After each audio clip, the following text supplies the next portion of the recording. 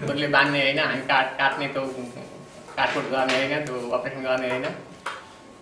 अनि हामी दबाई औषधिबाट हामी त्यसलाई निर्मूल गर्छौँ। अब निर्मूल भएन छ भने हामी पैसा फिर्ता गर्छौँ।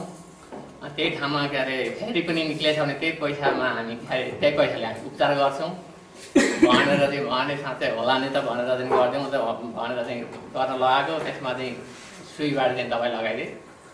सुईबाट दबाई लगाएपछि चाहिँ पुरै त्यो सुन्निएर फुटेर चाहिँ एकदम पकपकी एकदम के अरे मासु नै अनि मासु झर्दा झर्दा एक डेढ महिना चाहिँ त्यो मासु झर्न निको हुनलाई चाहिँ लाग्यो। निको पनि भयो त्यो मासु के अरे खाटा पनि बस्यो। तर भित्री समस्या बढेर गयो कि के अरे एकदम दिशा भन्ने के अरे हुँदै नहुने। दिशा गर्नुपर्दा चाहिँ मरुन्जेल कनेर कनेर कनेर गर्नुपर्दा चाहिँ अलिअलि पिची पिची पिची पिची साइडबाट चाहिँ पिची पिची गर्ने।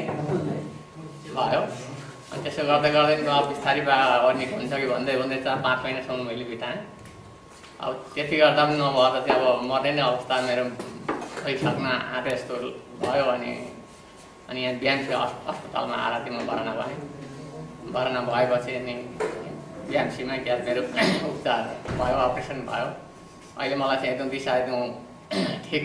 पानी टङ्कीमा प्रत्येक दिन पाँचजना दसजनाको चाकमा छुरी हानिँदैछ। र त्यसको सत्य तथ्य प्रमाण पेस गर्छु तपाईँले। तर त्यो कुराको उठान हुन सकेन र त्यो समस्याको समाधान हुन सकेन। स्पेसली महिलाहरूसँग पनि धेरै यस्तो इन्जेक्सनका घटनाहरू छन्। बेचाराहरू छ महिना वर्षौँ सहेर बस्छन्। जब सिचुएसन धेरै जटिल भइहाल्छ अनि डक्टर कहाँ आउँछन्